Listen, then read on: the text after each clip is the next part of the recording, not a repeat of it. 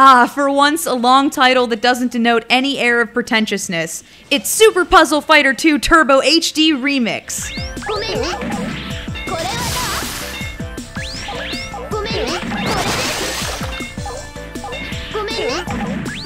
To spare everyone listening, I'll just go with the more common and much shorter name Puzzle Fighter. This title was initially developed and published by Capcom in 1996 for arcades, but was later put on various home consoles. The HD remix came out for the Xbox Live Arcade and PlayStation 3 in August of 2007. Capcom wanted this to look and sound like a parody of Street Fighter titles, and they did a good job. They nailed it in the title and the goofy mannerisms of characters, Dan specifically, poking fun at the popular fighting series.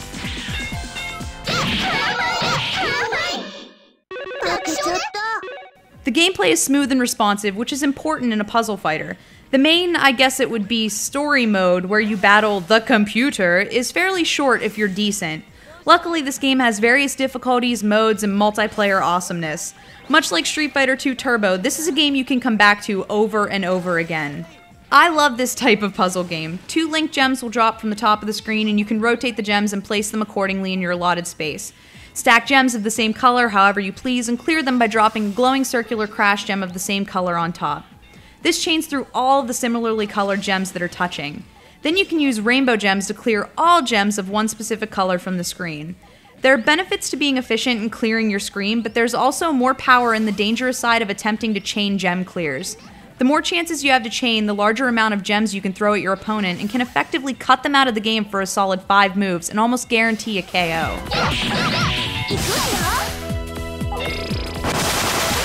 Although the method I just described is X mode, the core version of the game, there are two other different modes of gameplay. Y mode will clear gems as you align three light colored ones in a row, column, or diagonally, and Z mode brings gems up from the bottom of the screen, and you've got to clear them by rotating the already settled gems. I prefer the classic mode or multiplayer, but adding the Dreamcast versions of Y and Z just gave the game more substance and variety. It's also a mind kitten when you try to flip from one mode to the other. Puzzle Fighter is so adorable, it makes me want to throw up from cute overload. I mean, look at Ken's background. I'm pretty sure Blanka is rubbing suntan lotion on Cammy. Everything is over the top and done in a massively childlike, cartoony manner, pulling off the parody aspect Capcom was looking for. The two characters in the center of the screen act out a battle based on how well one or the other is doing. I do have a gripe about this.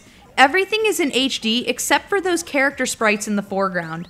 The graphics feel a tad disjointed, but luckily I rarely spend time looking at those characters and instead focus on exploding gems.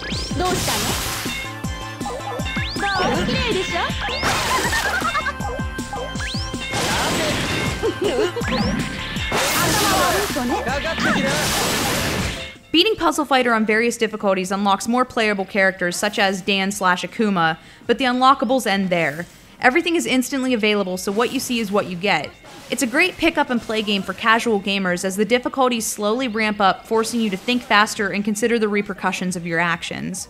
It's easy for me to recommend this. If you like puzzle games and you haven't played this, I'm fairly surprised. If you love the Street Fighter or Darkstalkers franchise, I think this game is a must have. Puzzle Fighter is a solid single or multiplayer puzzle experience utilizing the faces we already know and love. So sharpen your gem dropping, rotating, and stacking skills. I'll see you guys later.